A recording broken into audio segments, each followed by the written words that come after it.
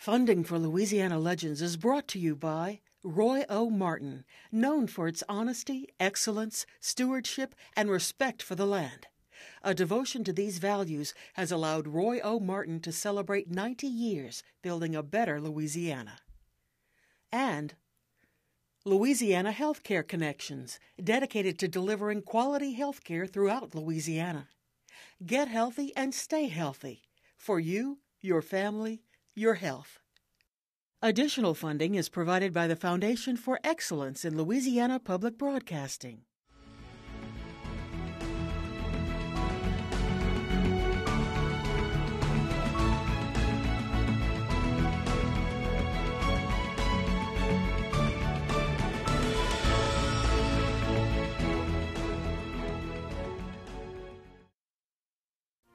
By the end of her first decade in life, Mary Gallagher Frey had traveled with her parents, Willie Mae and Fred C. Frey, to and from Minnesota, where the major received his PhD in sociology. Coming back to Louisiana, he joined the faculty at LSU and spent 40 years dedicated to the school, even gaining the moniker of Mr. LSU. The major was quite a humanist, her dad. Uh, uh, remember, he was a sociologist, and he was far ahead of his time in terms of human relations. And uh, Mary uh, inherited that from him, uh, and uh, she has exhibited those same qualities. Mary came from energetic stock on both sides. By the end of her second decade, Mary had already begun LSU and met the man she was to marry, L.W. Puna Eaton. They were both active in campus life, and she is still committed to the university she loves so much. After the end of World War II and graduating from LSU, Mary married Puna, and they began their life together. He, the handsome businessman, and she, the great beauty by his side, the epitome of the power couple. Through the 1950s and 60s, by the end of her fourth decade, having five children and supporting her husband's political service, Mary was already serving her community. I don't know that mother was ever a stay-at-home mother. she um, uh, was always with the community. But what her rule was at three o'clock, when the children got off school, out of school, should I say, she was there for them. She is probably the most dedicated um, person to her community that I've seen or had the opportunity to work with, and that uh, to me tells you a lot about her as a person. She is totally dedicated to what happens to Baton Rouge. Then came the 1970s, when Puna died suddenly, and she was a widow at only 52. That's when the widow group started. She said she would wait an appropriate amount of time when someone was widowed and call them and said, okay, you've got to go on with life. You cannot sit in the house. Now we're going to the symphony on Thursday night and we've got this on Friday night and you're coming with us. But Mary wasn't content with supporting her community as president or founding member of organizations from the Junior League to the Women's Council of Baton Rouge. She wanted to tackle yet another role. She was 60 or 61 when she ran for office and just felt that there was a need at that point in time. She has really been on the forefront of so many issues, regardless of your race, regardless of your income. Uh, if you were poor, guess what? She would find a way to feed you. If there was something that you needed, uh, she would find a way to help get somebody to help you out. But more than that, uh, there is not anything hardly you could point to in Baton Rouge and surrounding areas that Mary Frey Eaton has not had a hand in it. I would say she's more like a, a velvet glove type lady, soft spoken, but uh, persistent, consistent, knows the difference between right and wrong, and always tries to do the right thing, but in a gentle way, but a firm way. Mother had the wonderful ability of taking her Amy Vanderbilt rule of etiquette and wrapping it around her sledgehammer. In a facet of her life, in a phase of her life, you will see she was always there working to better the community. So she lived the part. So now what? As she approaches her ninth decade, just as Mary commits herself to her beloved Baton Rouge and her children do the same, the newest generation, her granddaughter Elizabeth, has become involved in the Community Fund for the Arts, the same organization for which Mary served as the first president. Mary Frey Eaton, Mother Mary to many, a force to be reckoned with, and a true Louisiana legend. Hello and welcome to LPB's Louisiana Legends. I'm Beth Courtney, and you've just seen a short bio of Mary Frey Eaton. We're fortunate to be with Mary now in her lovely Baton Rouge home. And Mary, thank you so very much for letting us be in your home. You're welcome. Well, you have often off, opened it to other people, have you not, through the years? Well, that's what it's for.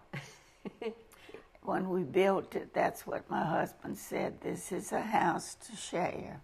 Well, thank you for sharing it with us. We're going to talk a little bit about today about uh, your fascinating and wonderful life. And I've had the pleasure of knowing you for many years, but I didn't know you when you were first a little girl. Where did you live?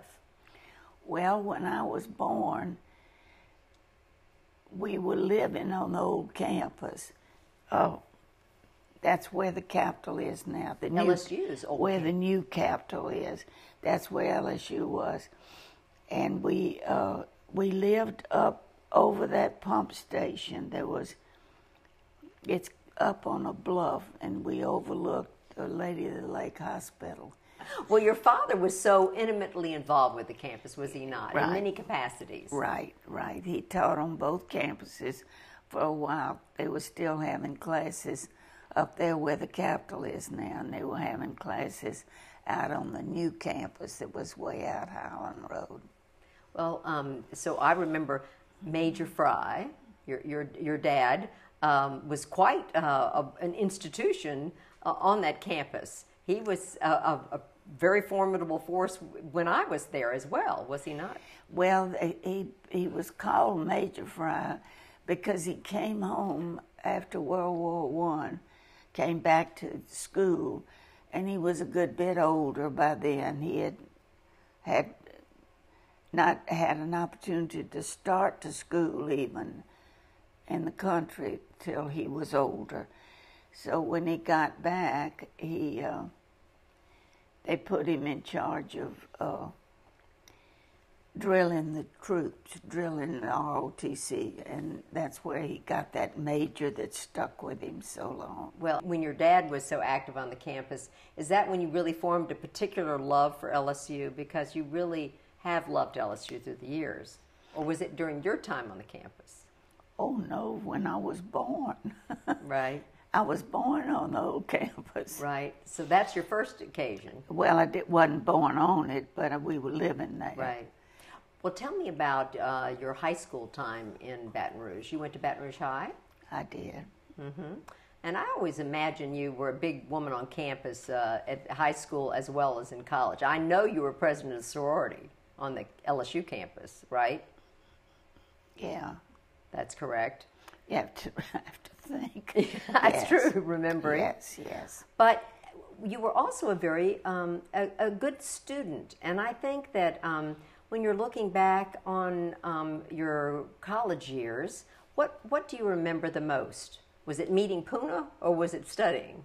oh, I met him before I got to college. I see. In Griffin's drugstore. In Griffin's drugstore. How old were you? This is your husband. He, I was 15. You he met at 15. 17. Goodness gracious. Well, what was that like? Was that out of bolt out of the blue? Yes, because at that point, he was probably the handsomest boy in town. He came in the drugstore, and I was in there with a boy named, um, his name was Onion Pennington, but it was, uh, we called him Onion, but let's see, Claude. I mean, you know, they're very, I mean, he's become well known Pennington, yes. Yeah, Claude mm-hmm. Pennington is mm-hmm. Uh, mm-hmm. a recognized name now. He and Onion Pennington uh, rode with me to take June Harriman, chef as she is now, out home out to uh, Fairfields. Fairfields was at the entrance to the plant, the plant we called it the Standard Oil and he and Onion rode back with me, but neither one of them got in the front seat. They both stayed in the back seat. And When I got back to Griffin's, I let them out, and that was uh, well, I was in, I was still in high school. So you dated all during college, though. We dated all through college. Oh yeah, he called me up that night and told me he didn't know if I was in love with anybody. He didn't know if I was going with anybody, but he wanted me to know that when I grew up, he was going to marry me. Well, Mary, this was um, so. This was really pre World War II. So, Oh, what yeah. was Baton Rouge like? Was it a little town during that time? Did you feel like everybody knew one another during that period? It's it's a big city now. Yeah. No, everybody didn't know everybody, but my daddy had a green Dodge. and uh, I could take the car to school, which was really something. I'd drop him at LSU at 8 o'clock. I had to be sitting in front of his office at 5 o'clock, but I had the car the rest of the day. So. 15 years old and you're driving around town. Oh, yeah. That's pretty. wherever I wanted to. to uh, he let me use the car that I, uh, the, as well as I remember, I was allowed to take it out to Baton Rouge with me to sell uh, ads to the fricassee. The fricassee was the yearbook. I see. That's an odd name for a yearbook. It Isn't it? is, it is fricassee. All right, so you're driving around town in Baton Rouge, Louisiana. Its population is not what it is these days. What were the roads like? Were they uh, were there a lot of like dirt roads and things, or was everything paved? You know, Well, they were pretty much paved by then. I'm trying to remember. No, I don't remember dirt roads. Well, I'm asking paved- you these things because you know, interestingly, late in, later on in your life, you became the mayor pro tem of East Baton Rouge Parish, and over your lifespan, you had to worry then, as mayor pro tem, about infrastructure, about roads and sewage and the growth of Baton Rouge. Did you ever think when you were 15 driving around that you'd be mayor pro tem? I didn't even know what that was. you didn't. I don't even think we called it that then, but no, no, You never envisioned that. no. Well, what did you think uh, when you were in high school, at Baton Rouge High School? What did you imagine you were going to be when you grew up? What did you want to do? I don't remember even thinking about that. I kind of took things as they came. Well, that's a good that's a good way of looking forward to things. So you, as they came along, you naturally then went on to LSU to school. Yeah, yeah. I went to LSU, and uh, now I never thought about what I was going to do or be. Or What did you major in at LSU? Do you remember that? you would ask me. It was history, Ah, that's what I majored in too. but Mm-hmm. um, Harry Williams uh, was my professor. T. Harry Williams, T. the Harry famous history professor. Oh, he became so famous. Yes. But he and uh, asked me to be his uh, assistant. I think I guess that's what they called us. And I worked for him as long as I was there and he was there.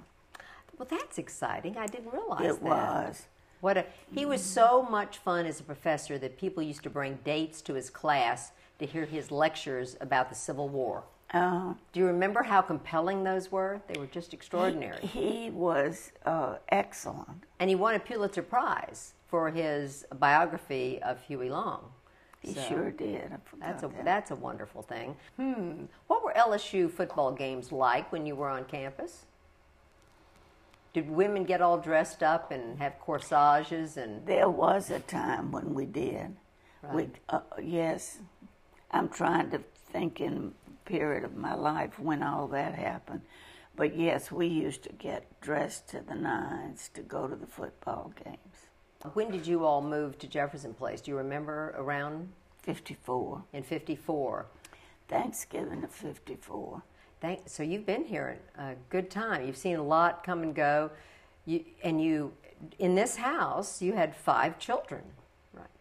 So you must have been awfully busy. Now, he was doing real estate and construction and everything, and you were t- keeping up with five children. And then he also had a career in politics, did he not? Well, remember, he was a Marine. So, as But he had, he was a Marine at he went went through Parris Island and then, as he said, when he got out, through in Parris Island, that's where Marines get their, training, I guess you say, basic. that's right. He said when he set foot back on the that off that island, he really wasn't sure he was still a human being. It was quite an experience, and then he went on to Quantico, and uh, So, did he serve overseas in World War II? No, he did. Where, where was he? Japan. In Japan. Ah, okay. No, where was he first? Excuse me, Okinawa. So he was in Okinawa and then Japan, occupied Japan. But he was he did did occupy Japan. So were you anxious during that period of time, I would imagine, waiting for letters and to come back? Well, the whole time that we had an identity with each other was I was always waiting. He was somewhere, You were, always somewhere else. Well, he must have been here enough for you to have five children, though. Yeah, he dropped by occasionally. Drop by occasionally. So after the war, you're here, you move into this wonderful subdivision, you have this beautiful home, five children, where you once again you're driving the car. That 15 year old driving around town must have come in handy because you spent a lot of time driving a station wagon, I hear. Yeah. That's interesting. Yes, I did. You did. You did indeed. Was that a time when you were also like in the junior league and doing community activities, volunteer work too? Well, yes. I was uh, active in, in the Methodist Church. I was president of the U- University Methodist, president of, and then I was the district Christian Social Relations uh, chairman, I guess you'd say, of the Methodist Methodist women. Did that for eight years. So I kind of did a lot of all that. And so, looking in, in Baton Rouge right now, there are a lot of wonderful institutions that I know you've been involved in the Arts and Science Center, Museum, the Speech and Hearing, that now has even opened up a new uh, center. Um, so, is there really um, a sense of satisfaction of knowing that you help be there on the ground floor of some of these things? You know, I look at like Magnolia Mound and I think it would have been torn down if people like you weren't involved. Well, I, I, it just never occurred to me not to. You just know. sort of did what you were supposed to do.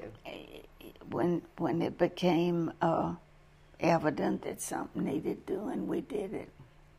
So, all right, so now we've talked about so you've had all these children and you're active in the community, you're driving around town doing us, and your husband also is in the Louisiana legislature.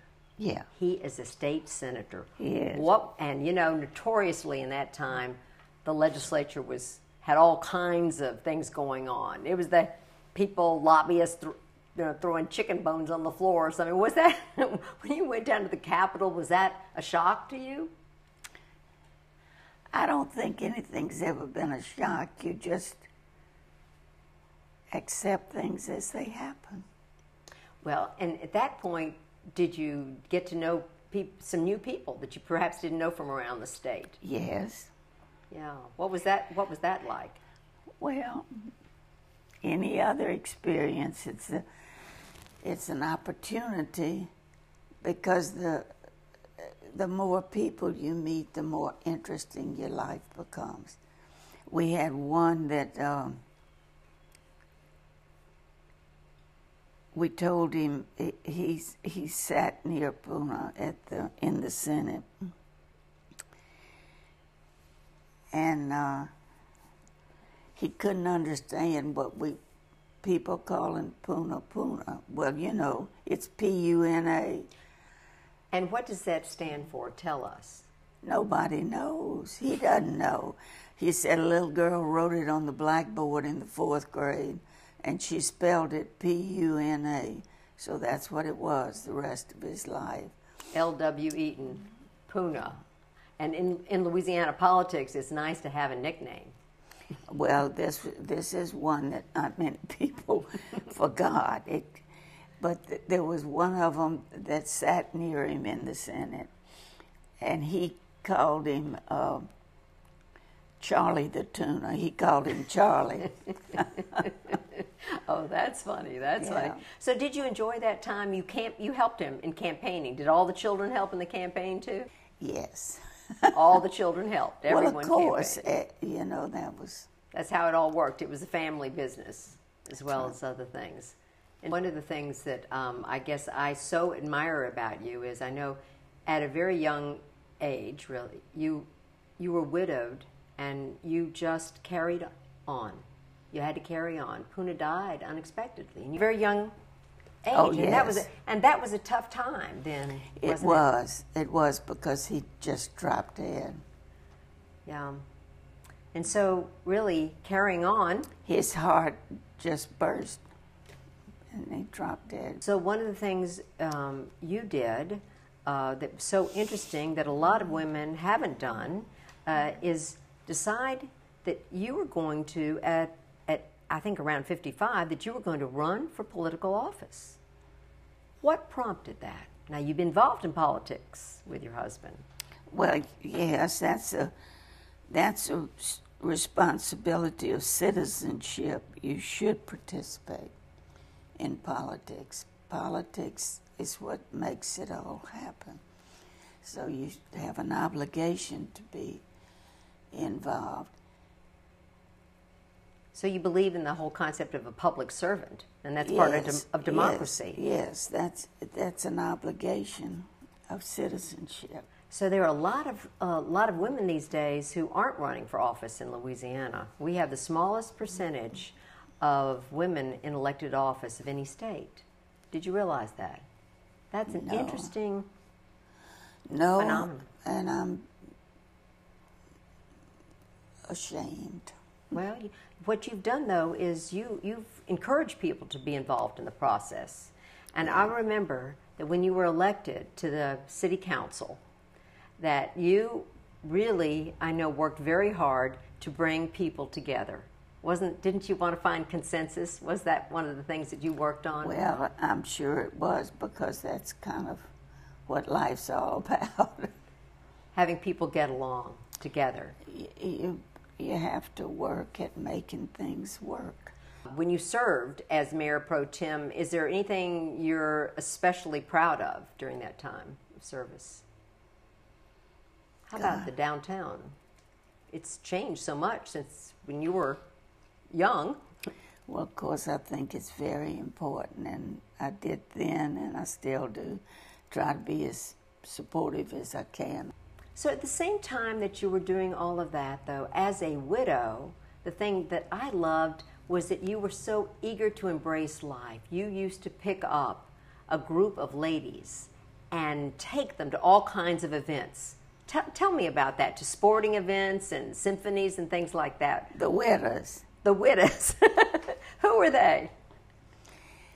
Well, gosh, I haven't thought about. I'm Stell Williams, I remember particularly. Stell was a good bit older than I was, and uh, she taught at LSU. That's T. Harry Williams' wife. T. Harry Williams' wife, and she taught English. She was in the English department.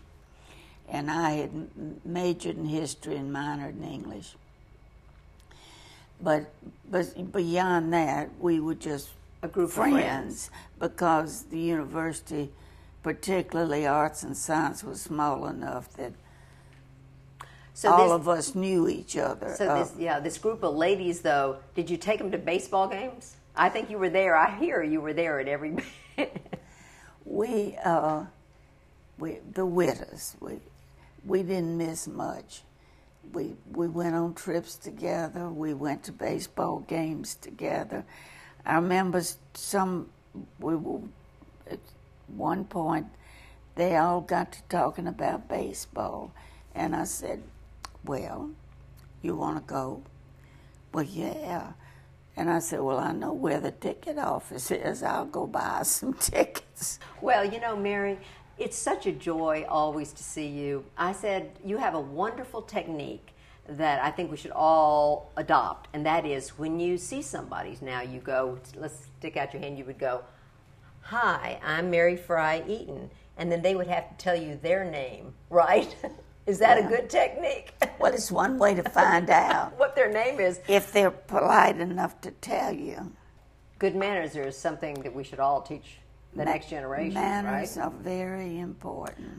You're so pretty, and you're a beautiful woman today. You're a beauty on campus. You're a lovely person. Why didn't you? Did you ever? De- did you ever decide to date? Why didn't you? Did you ever date again after your husband died? Not really. Why not? Well, I'm not interested. I've had it all. Okay. Nobody's going to replace him. Mm-hmm. Well, that's a sweet. Unless you can think of somebody. I don't know. if you can think of somebody, I might consider, but I doubt it. Mary, thank you so much for inviting us into your home. It's been a pleasure talking to you. I always love visiting with you. And thank you for joining us for this interview with a remarkable woman, Mary Frey the original Golden Girl. Thank you so much. On the behalf of Louisiana Public Broadcasting, I'm Beth Courtney. Good evening.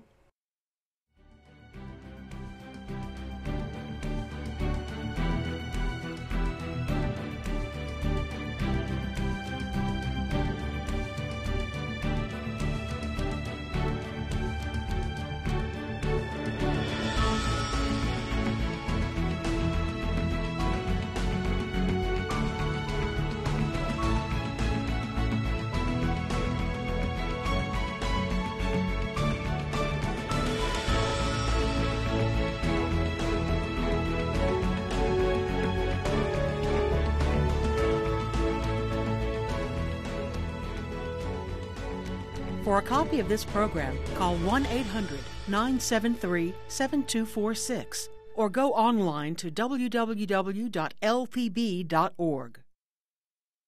Funding for Louisiana Legends is brought to you by Roy O. Martin, known for its honesty, excellence, stewardship, and respect for the land. A devotion to these values has allowed Roy O. Martin to celebrate 90 years building a better Louisiana.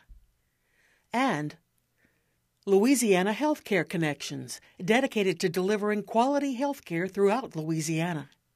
Get healthy and stay healthy for you, your family, your health. Additional funding is provided by the Foundation for Excellence in Louisiana Public Broadcasting.